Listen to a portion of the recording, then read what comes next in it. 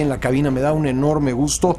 Un periodista al que respeto mucho y que me va a encantar, que pues ya estamos, de hecho, ya estamos trabajando juntos en el mismo grupo, pero conforme se acerque el momento eh, del inicio de las transmisiones de la nueva cadena, eh, que será operada por Grupo Imagen Multimedia, pues será todavía mayor la, la relación laboral. Javier Alarcón, Javier, un gustazo tenerte aquí en la cabina.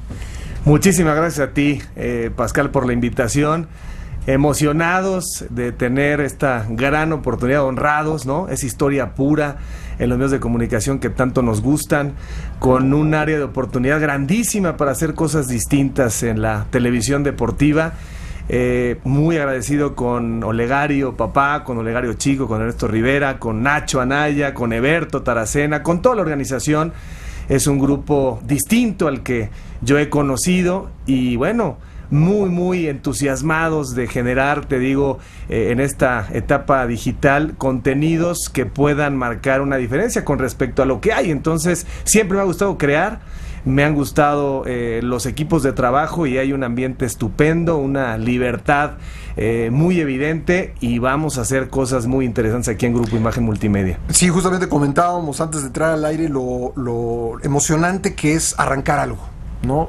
Poder crearlo, eh, sobre todo cuando se tiene pues eh, un, grupo en, cual, en el cual respaldarse, que un grupo que, apoya este tipo de, iniciativas y que, que, deja hacer, ¿no? que deja crear eh, creo que es una magnífica oportunidad para quienes en el área de deportes que tú encabezas, pues pueden, pueden contemplar la posibilidad, las mil posibilidades de hacer cosas distintas a las que ya se han hecho.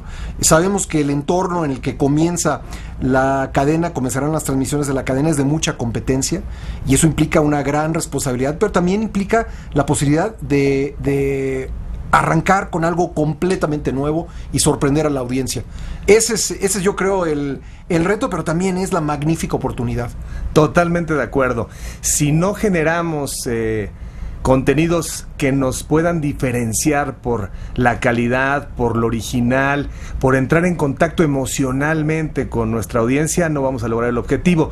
Pero ha sido muy sencillo, Pascal, porque este es un gran grupo. ¿eh? Hay gente que te deja trabajar de manera orgánica, hay un grupo muy rico. Está Pablo Carrillo, quien es icónico aquí, gente que hemos rescatado en este proceso de integración, que ya tenía grupo imagen en el radio, en la televisión, gente que estaba afuera con nuevas expectativas con nuevos deseos de contribuir para esta estrategia que va a ser verdaderamente eh, impactante en términos, insisto, del original. O sea, después de trabajar 27 eh, años en una misma empresa y de evaluar el espectro televisión cerrada, televisión abierta, pues no tenemos otra cosa eh, como responsabilidad que contribuir con algo inteligente, en el análisis deportivo. Eh, vamos a utilizar desde luego las redes sociales como el Quijote, ¿no? Ya no hay manera de eludir esa responsabilidad, pero no de manera paralela, sino como una parte prioritaria, ¿no? Producir para redes sociales contenidos deportivos hoy es el nombre del juego, hay una estrategia clara ahí, planes tácticos también muy específicos. Y en la televisión abierta, bueno, un grupo eh, que tiene todas las edades, que tiene todos los componentes, que tiene roles, que tiene personajes. No vamos a ahondar mucho en ello, pero pues es muy, muy atractivo y me tiene muy emocionado el de pronto poder regresar a competir los domingos en la noche para establecer un programa que tiene que diferenciarse de todo lo que hay. Entonces el reto es enorme, pero ha sido muy, muy gratificante y hasta cierto punto sencillo, porque aquí, insisto, eh, saldrán a la luz eh, una serie de talentos que ya estaban en grupo eh, Imagen Multimedia, que van a hacer la puesta en escena muy divertida para gente que quiere encontrar una nueva vitrina, ¿no? Ese es el reto que estamos estructurando con un grupo de trabajo eh, increíblemente bueno.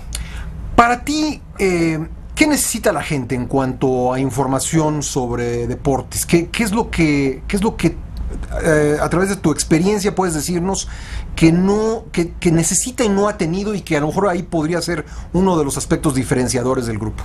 Mira, en realidad a veces creo que se minimiza la capacidad de reflexión que se tiene sobre el deporte. En estos Juegos Olímpicos lo hemos visto, ¿no? Todo el mundo tiene un razonamiento y hasta con cierta, eh, digamos, eh, argumentación, ¿no? O sea, todo el mundo tiene... ¿Por qué nos está pasando lo que nos está pasando? Tiene una reflexión y creo que a veces hemos, eh, digamos, subvalorado esa capacidad de reflexión que tiene la gente respecto al análisis deportivo. Eh, cada vez eh, se necesita diversificar, o sea, la variedad es hoy un tema, ir atrás de las historias, digamos, comunes, qué hay detrás del esfuerzo, qué hay detrás de una frustración y, por supuesto, también la conexión emocional, ¿no? Hay manera de decodificar lo que el público está esperando en materia de deportes y tiene que ser una puesta en escena que tenga vértigo, que tenga ritmo, que tenga inteligencia, que tenga diversión. Pero si me preguntas de todo esto que eh, finalmente son componentes de una sola cosa, creo que el reto es hacer divertido igual a interesante. Creo que por ahí está un poco olvidado ese tema, ¿no? Eh, asumimos que divertido es humor, no, no lo es eh, necesariamente. Que divertido es eh, encontrar pues una cara bonita, una chica espectacular. Creo que hay un juego de equilibrio por realizar, por poner en escena y tiene que ver con interesante puede ser divertido, ¿no? Por ahí estamos trabajando una serie de cosas que esperamos que puedan sorprender. Es muy interesante el momento, como bien lo describías, ¿no? La gente nos va a ver, la gente tiene inquietud por saber si efectivamente hay libertad y hay valores diferenciadores y en eso estamos trabajando hace rato ya y estamos muy satisfechos de lo que hasta ahora se está eh, preparando. Ahora, eh, el fútbol, no cabe duda, es el deporte más importante del país, el deporte más importante del mundo, pero de repente eh, se dejan de lado algunos deportes, ¿no? De repente eh, se ha futbolizado la, información eh, deportiva y cuando vienen momentos como los Juegos Olímpicos, de repente la gente ve aparecer a mexicanos en algunos deportes de los que prácticamente no ha oído hablar en mucho tiempo. A lo mejor conoce los deportes, conoce las generalidades, pero le ha perdido la huella a los, a los atletas y creo que ahí pienso yo, lo digo casi como, lo digo como periodista, pero también como, como aficionado, me gustan mucho los deportes y creo que a lo mejor ahí hay una, una ventana de oportunidad. Sí, sabes que atacar los intereses del deportista de llano, del deportista amateur, para que no haya un gap tan importante entre la aparición en Juegos Olímpicos y la medalla y una historia no contada detrás. Pero en ese sentido, la verdad es que yo le reconozco a Pablo. Misael, por ejemplo. Pablo Carrillo ha sido consistente, congruente en tratar de generar contenidos que, digamos, rompan el tema del fútbol. Eh, lamentable o afortunadamente el fútbol pues genera una gran parte de los ingresos en el negocio de los contenidos deportivos, pero sí, también tenemos por ahí una estrategia que tiende a diversificar, ¿no? Y como bien dice, eh, hacer un poco más justo. Los medios deportivos en México, la televisión, la radio, los periódicos, somos injustos. Eh, no hemos cubierto con la debida oportunidad y con el valor que tiene el esfuerzo en otras disciplinas. Por ahí vamos a eh, también a tratar de recuperar un poco en ese déficit que tenemos. Bueno, hay muchas cosas que son sorpresa, que el público se enterará cuando arranque, eh, cuando arranquen las transmisiones de la, de la nueva cadena, pero háblanos un poco en general, coral para ti, el día como periodista. Bueno, estoy encantado, Pascal, también de meterme bajo tu, eh, digamos, eh, liderazgo con el tema de Excelsior. En el periódico también voy a colaborar. En el radio, en la radio haremos cosas con la gente, te insisto, muy valiosa que hay aquí. Juan Carlos Veraz es un conocedor, es un tipo que ha crecido una barbaridad.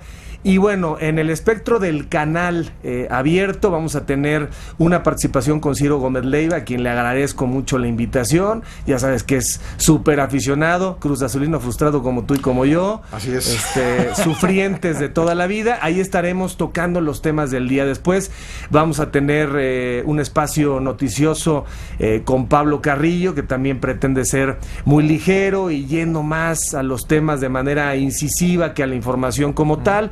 Tenemos el programa de los domingos, ¿no? En la noche, que también pues es un reto, imagínate todo lo que se ha construido en Televisa y en Televisión Azteca durante mucho tiempo, pues ahí hay que meter, digamos, toda la artillería. Y luego tenemos las transmisiones de Querétaro y de Jaguares, donde también trataremos de encontrar un equilibrio respecto a lo que ya hay en, en el mercado. Y de ahí en adelante, bueno, pues este, este canal llega a las grandes ligas. Con el paso del tiempo, pues hombre, vamos a buscar el Super Bowl y vamos a buscar el Mundial y vendrán las liguillas. Ese es en términos generales, eh, digamos, el panorama, ¿no? Yo estaré de lunes a viernes con Ciro, después con Pablo Carrillo, los domingos en este programa nocturno Adrenalina, eh, que tiene una mesa verdaderamente atractiva. Y si no te puedo adelantar nada, pero eh, será muy, muy divertida y será muy diferente. Y bueno, desde luego eh, poner mi granito de arena en todas las estrategias respecto al mundo del entretenimiento de la televisión que, que me permite el grupo. Y bueno, yo encantado de, de construir esta nueva etapa en la historia de los medios de comunicación con Grupo Imagen. Pues bienvenido, eh, Javier, ya tienes eh, eh, unos, unos meses trabajando aquí tras bambalinas, preparando todo, pero me da mucho gusto que podamos platicar ya de lo que se ha realizado en, en estas últimas semanas y lo que viene, pues ya en- ante el próximo lanzamiento de transmisiones de la, de la nueva cadena. Todo el éxito Javier, todo el éxito. eh, estoy seguro que con tu talento, tu experiencia, pues este grupo, esta nueva cadena, pues va a ser, eh, va a ser, va a ser historia y va a ser del gusto del público. Estoy absolutamente seguro de ello. Muchas gracias, eh, querido Pascal, y bueno, a la audiencia eh, que estén seguros que habrá un esfuerzo eh, al límite por corresponder las expectativas. Hemos medido, como bien sabes, cuál es este ámbito de oportunidad para, eh, digamos, contribuir con cosas inteligentes en la crónica deportiva, en el análisis deportivo. Javier, enhorabuena. Gracias, gracias. muchas Bienvenido gracias. y Gracias. muchas felicidades.